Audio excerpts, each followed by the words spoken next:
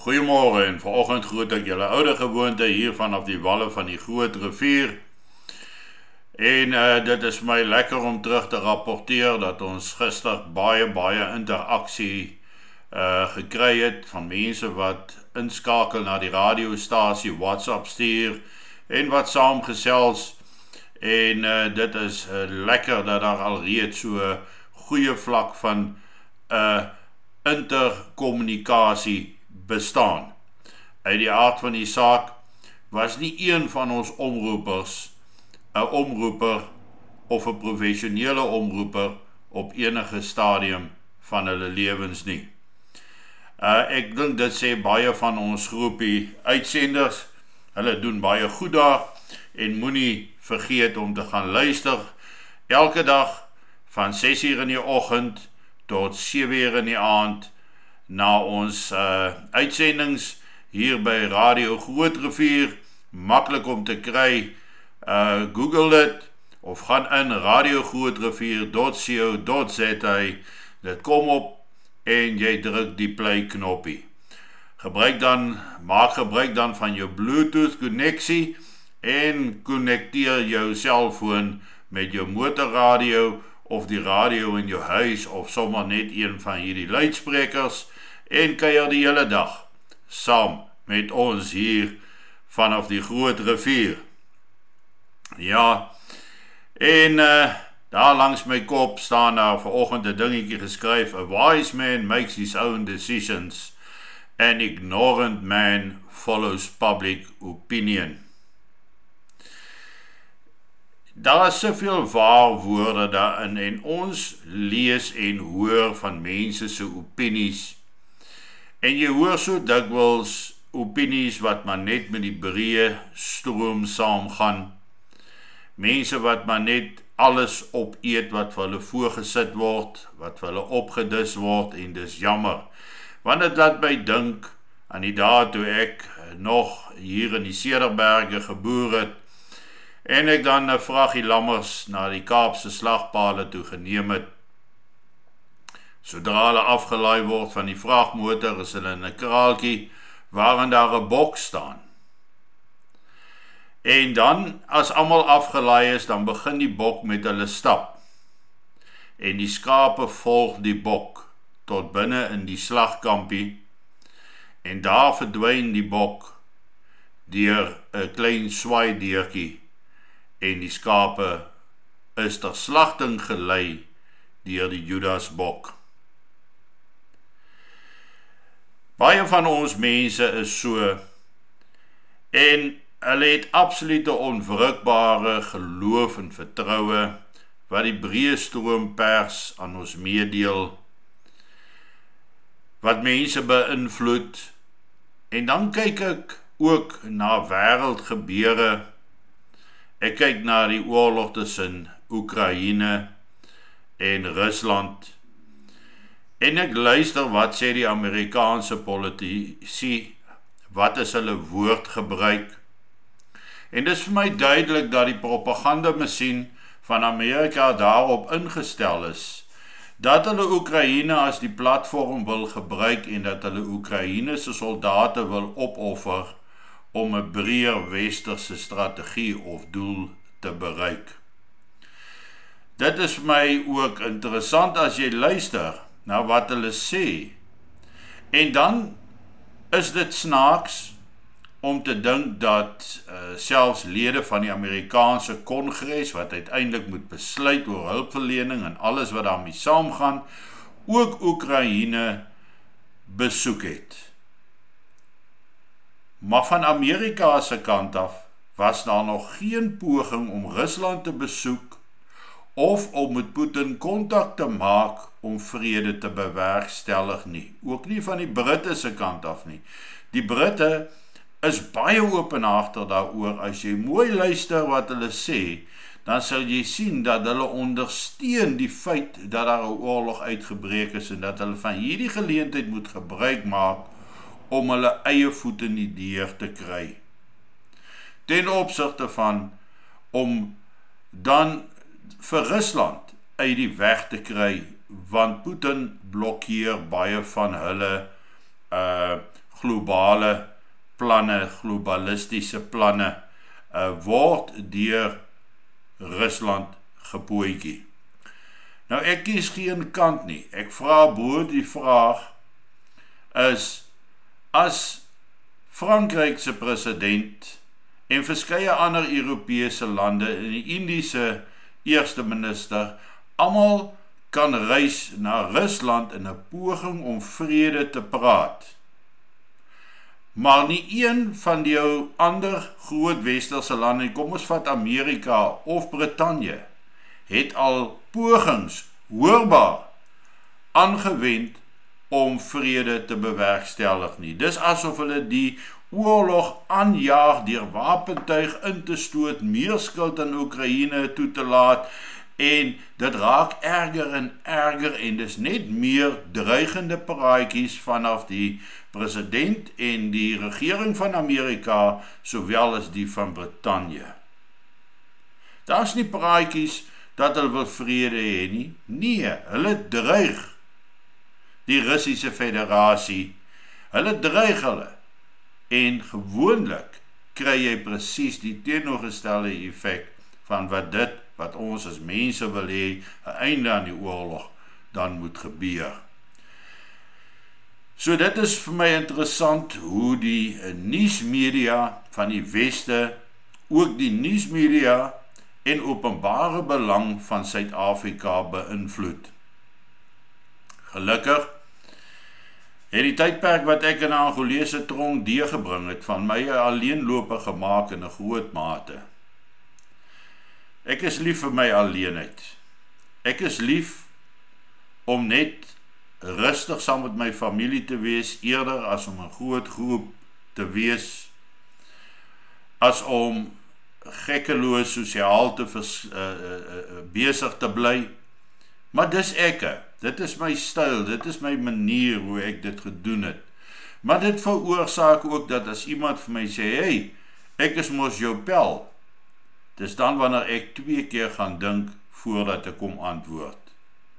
Is jy regtig my vriend of is jy nie my vriend nie? Bedoel jy regtig wat jy sê of het jy bybedoelings met wat jy sê? As 'n verslaggewer berig gee, dan sal ek gaan kyk wat wil hierdie verslaggewer oordra aan ons? Wie se doel is dit? Is dit onpartydig? En van waar af kom dit? Wat is die oorsprong van die berig? Ek doen dieselfde met die oorseese berigte wat ek ontvang. En 'n mens het 'n verantwoordelikheid om twee kante van 'n saak te ondersoek om dan uiteindelik tot 'n besluit kan kom van wie is reg, wie is verkeerd of loop die persoon net die goue middelpad. Vat hy die maklike pad, vat hy die pad van die openbare mening. Want as jy saamstem met dit wat almal sê, as jy saamstem met dit wat die media vir jou in jou kop inprent, dit wat die westerse media in jou kop inprent, gaan jy op die ou einde dalk nie met die waarheid sit nie. Nou ons het baie so in ons privaat lewens ook dat ons baie maklik net 'n groep mense volg. Ons sit maklik en hoor ons iemand sê, "Maar ek hou nie van daardie organisasie nie." Of daai is 'n regse organisasie of daai is 'n linkse organisasie en onmiddellik is jou mind opgemaak. En jy klaar besluit sonder dat jy 'n oomblikse ondersoek gedoen het dat dit 'n regse of 'n linkse organisasie nie. Wanneer iemand van 'n ander persoon sleg praat of swak praat of verkeerde goed oordra, dan is dit jou plig om nie 'n opinie te vorm totdat jy jou eie persoonlike ondersoek afgehandel het nie. En soos daar sê, a wise man makes his own decisions an ignorant man follows public opinion.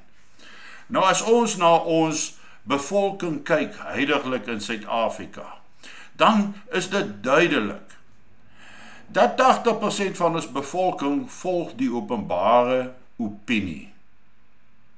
Hulle bevraagteken nie die dra van maskers nie, hulle bevraagteken nie die inentings nie. En weer eens kies ek nie hier 'n kant teen inentings of nie inentings nie. Dis net 'n kwessie van o nee, dis 'n conspiracy theory. Of hierdie ouens is conspiracy theorists. Dit is so ver as wat dit gaan en dan stel ek nie verder belang om ondersoek in te stel nie. En enige mens kan tog sien wat rondom hulle gebeur. Wat werklik besig is om agteruit te gaan in hierdie land van ons. En al hoe meer begin daai selde eensydige media rapporteer oor die verval van Suid-Afrika en die gevare wat dit vir ons as gewone burgers inhou. Verskeie berigte het die afgelope tyd gewaarsku die feit dat die populasie in opstand kan kom. Ons het gesien hoe hulle vir eh, Cyril Ramaphosa uit die Royal Bafokeng Stadium uitjaag. Dat hy vlug vir sy eie mense, vir 'n handjievol van hulle wat hom gedreig het. En hulle gee pad. En ons gaan rustig aan met ons lewens, want elke tweede ou sê, ag man, alles gaan regkom. Alles gaan regkom. Die vraag is, hoe gaan dit regkom as iemand dit nie reg maak nie? Weerens is dit goed om beloftes te maak, om vergaderings te belê, om uh werksessies te skep, Zoom vergaderings te hou, noem allerlei goed. Maar as jy nie doen nie, het jy nog niks bereik nie. En dit is vir my waar hierdie hele wyse man konsep inkom. Want 'n mens moet mos besef dat ergens begin iets. Ek sien 'n video van 'n jong soldaat wat uit Brittanje uit gereis het uh om te gaan help veg aan die Oekraïense kant by die Oekraïne se vreemde legioen. En uh die ouens vra vir hom, die omroeper, nou dink jy jy gaan 'n verskil dan maak?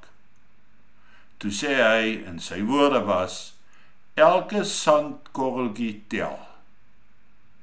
Elkeen van ons maak 'n verskil in die lewe of jy dit nou wil weet of nie, maar jy dra by tot die public opinion, jy verbreed die stroom of jy's een van die paar mense wat omdraai en sê wag net 'n oomblik hier is iets anders aan die gang. Hier is iets anders aan die gebeur. Hier is iets anders aan die kom. En van daai van ons wat teen die stroom gedraai het en gesê het maar hier is iets anders aan die kom. Ons moet bewus wees dat dinge vir ons kan skeefloop verkeerd loop en daarom moet ons iets daaraan doen. Ons moet beplan vir die dag wanneer alles in duie stort. En daai dag is nie meer ver nie. Verskeie snellers. Dit kan massas wees wat 'n opstand kom, dit kan xenofobie wees, dit kan 'n ineenstorting van Eskom wees, uh hulle netwerk, dit kan Sassa wees wat nie kan betaal nie en skielik sit ons daar met 'n krisis op hande. En baie sê ja, Wanneer dit gebeur, dan sal ons ook iets doen. Dan is dit te laat. Wees 'n wyse man. Maak jou eie besluite. Maak jou eie waardering van die situasie in Suid-Afrika en besluit op grond van jou eie oë oopgemaakte kennis en dit wat jy kan raak sien. Moenie luister na ouens wat jou probeer paai nie want dit is te laat om te paai. Moenie luister na ouens wat 'n organisasie sleg praat nie. Op die ou einde moet jy besluit. Jy moet besluit. Wees jou eie mens. Neem jou eie besluite. Dit is hoe ons hier by die Suidlanders ook is. Ons is 'n organisasie wat baie kritiek ontvang baie negatiewe en lelike opmerkings. Mense wat 20 jaar terug se aantuigings nog steeds hou, wat nie gesien het hoe die organisasie of die noodplan inisiatief ontwikkel het nie en waartoe het ons gegroei en wat het ons in plek gesit om na ons mense beter te kan kyk nie. Al daai positiewe goed wat ons kan begin raak sien. So my advies aan jou vandag wees 'n wyse man oorweeg jou opsies oorweeg jou verskillende aksies en na aanleiding daarvan maak jy jou keuse en dan is jy welkom. Sluit aan by Suidland Verdediging of die Suidlanders se noodplan inisiatief. Geniet vanoggend jou kondensmelk koffie en moenie sit en wag tot dit te laat is nie. Ignorant man follows public opinion. A wise man makes his own deliberate decisions, well calculated and sorted. Tot môre.